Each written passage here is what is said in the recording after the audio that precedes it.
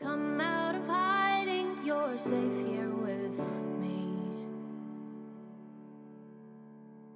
There's no need to cover what I already see. And you've got your reasons, but I hold your peace.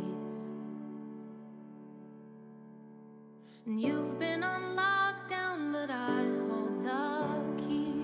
Hello from Hartland, New Brunswick. And this is the town that has the largest covered bridge in the world.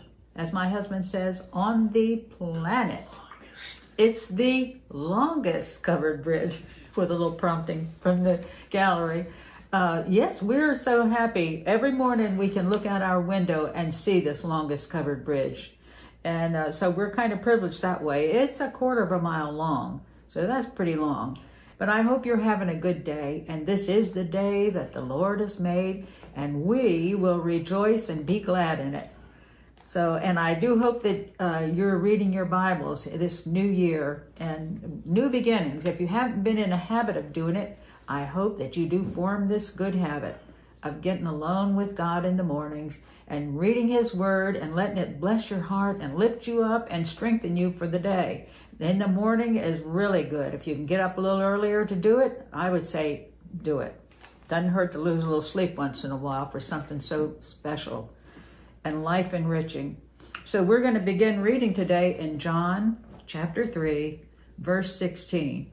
And I like to go into verse 17 for a good reason. I'll tell you in a minute, but this is what it says, and you probably have it memorized uh, already. But for God, and this is, you have to understand this. This is Jesus quoting this. So it makes it special. It's in red letters in my Bible. For God so loved the world that he gave his only begotten Son, that whosoever believeth in him should not perish, but have everlasting life. And the next verse is so rich, I had to include it. For God sent not his Son into the world to condemn the world, but that the world through him might be saved. It's such, these are powerful words coming from the Lord himself and uh, of God's love for us. He loved us so much that he gave his only begotten son. He paid the sin debt for us that we could never pay on the cross at Calvary. A debt that we could never pay. He was the sacrifice for our sins. And now we want to turn to Mark chapter 16.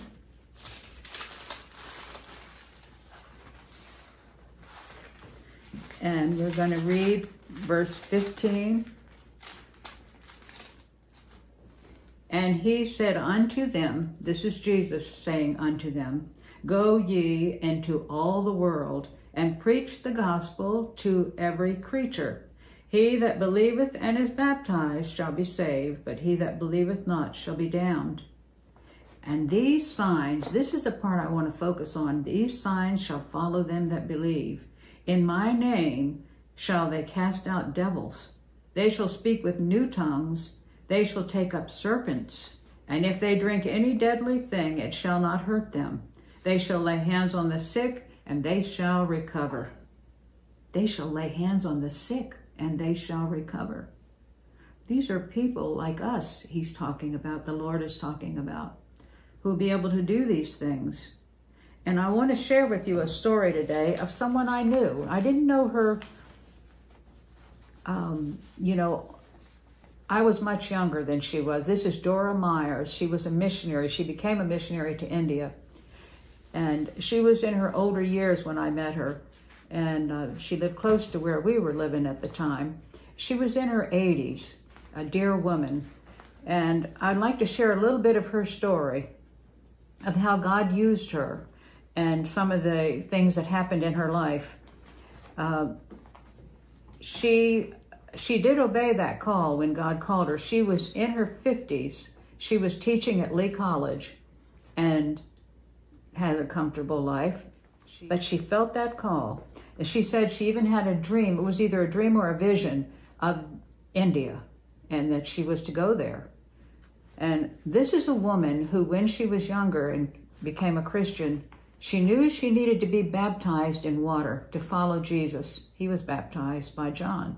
And she knew she needed to do that as well to, to just proclaim that she was going to be a follower of him and do what he did, follow in his steps. And so, but the thoughts, when it came time for her to be baptized, the thoughts of putting her head under water just terrified her. So she told us that she had to practice in her bathtub putting her head underwater so that she could finally get baptized. And because we think and know that Christ was put all the way under the water, so that's what we practice. And uh, so Dora had to do that. Then, when she was called, uh, at first, the World Missions Department didn't send single women to a foreign land and support them. Uh, but somehow they must have realized that she had a true call of God. There was no reason to hold her back, even though she was in her 50s, from fulfilling this call. And so they began to support her in her efforts there. Well, she went to India, and when she got there, uh, it was a different lifestyle, of course. At that time, this was quite a few years ago, she had a mat that she had to sleep on and on the floor.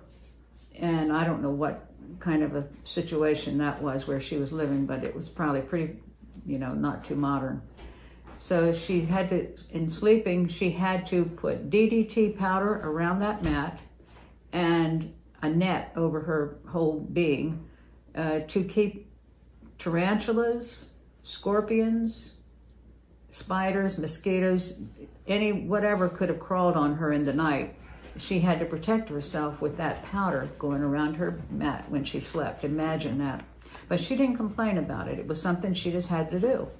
And she did it. And so then when she they had an outdoor shower I can imagine it was not too modern as well. And she went in there one day and there was a big poisonous snake hanging from like the top of the shower. But she wasn't harmed and he it didn't bite her. Uh, I'm sure she met other things that if she were here, she could tell some experiences that were quite unique to her call. But another thing that happened that really uh, impressed me was that the men in the village didn't like it that she had come. And so they came to her days later and they said, they were kind of big eyed talking to her. They confessed that they had put enough strychnine in her well to kill 10 elephants. That's the way they put it. And when she didn't die, they were they came and confessed to her what they had done. I don't know I wish I knew the outcome of that. Whether those men became believers, I believe they did. But these are the kind of things she encountered while there. Her one of her missions was was to spread the gospel message, but also to uh, help the women and the girls to be have more education. So she started a girls' school. In fact, before she left, she had started three girls' schools, uh, or probably schools. We'll say schools because probably the boys were not turned away if they wanted to be, you know, under her tutelage. But it, it, she she led a fascinating life. There is a side note to all of this. In the beginning of her life, there was a young man who, let's see where I have this in here because I don't want to get this wrong and I, I can remember it. But when she was younger, she had met a man named Norman. He was a budding artist and he loved her and he asked her to marry him. And so she must have mentioned it to her father that he was asking her to marry him, and the father, uh, he forbid her to marry him, said that he would never amount to anything. And so they didn't get married. Because she was in that day you if your father didn't give you permission you just weren't going to do it. It would have been unheard of back then. But eventually i have to add this young man became a famous artist and his name is norman rockwell but you know what? God had a bigger plan for her life, and uh, and she had she had a very fulfilling life, pointing souls to Calvary and a brighter tomorrow. And so, um, but another thing you might want to consider if you ever see Norman Rockwell's paintings, Dora had red hair, and quite a few of the women that he would paint in his artwork were redheads.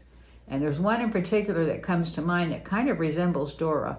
It's the one where there's a man standing on the outside of a huge portrait of a woman with her jewels or whatever it was she had on. And she's looking back at him as he's the painter is doing the work, the artwork from the outside. It's a unique picture. It's one Norman Rockwell's. And I think that kind of represents Dora a little bit back in the day. We want to follow the Lord. That's the whole gist of this today. We want to follow Jesus. We want to pay whatever it costs to just sacrifice what we think we might need to do, but live for Him. It's the best way to go. It's the best way to live life to the full because our souls never die. Our soul will live on and on. And so we, we know we will spend eternity somewhere, and we want it to be in heaven with the other family members of ours who have gone on ahead of us, who are waiting for us on the other side. And it's not bleak uh, to even consider these things because we'll all face it one day. So we want to be prepared in this life to be ready to go and uh, to follow the Lord, to repent of all of our sins, and to live for Him all the rest of our days. God might never call you to go to a foreign field, but wherever you are, you do what you can and uh, share the love of the Lord with those around you, and you'll be blessed. I need to make a correction on last week's video. I said that we went to Newfoundland uh, and that we started in Port Nova Scotia, and landed in Port um, Newfoundland. Well, it was Sydney, Nova Scotia, and we did land in Port Newfoundland. And but I have to give you a little more um, details on that. When we got to the other side, the relatives there were so happy and glad to see us, and they gave us the grandest welcoming you could ever imagine. And uh, we had a lot of fun adventures with them. It was like an exciting, adventurous time. Uh, they were so happy and just we were so glad to meet people like that who were so happy and seemed so glad to see us. And after dinner, we had had moose stew, which I have to say, I'm not a game hunter uh, type connoisseur, but I'll tell you what, that moose stew was good, it was delicious. After dinner, they would go into the, uh, their living room, pick up their musical instruments, and they would begin to play all these songs. And one of them was like, I's the by that catches the fish and brings them home to Liza. And what happy songs they played and sang. We had the best time. But there was one part that kind of made took me back a bit. They said that in order to be honorary Newfoundlanders, we had to kiss the cod fish. And I'm thinking, what? I could just picture this fish and having to kiss its lips. And I'm thinking, oh, awful. and they said that uh, we had to have a sample of their Newfie Screech. Well, I've never had a, well, anyway, I'm not going to go there, but um, so it, they let us off the hook, but after a lot of laughs, we just laughed about it because we could hardly believe this whole thing, you know. But it was such fun. Uh, I believe from for them, if they had stuck a frozen cod in my face, I probably would have kissed his lips just because they were such dear people. And they were so happy, and it was so contagious. We loved it. So uh, we were thankfully spared of that initiation rite. And uh, I hope you all have a good day and a blessed day, a happy day. And I hope that you're a blessing to somebody. And if you'll wait to the end of this video, my granddaughter, Sandra Lynott, is going, her one of her songs that she's sung is going to be played. And I believe you'll enjoy it. Be blessed and enjoy living for Jesus. Have a good day. Come out are safe here with me. There's no need to cover what I already see. And you've got your reasons, but I hold your peace. And you've been on lockdown, but I hold the key. Cause I loved you was love,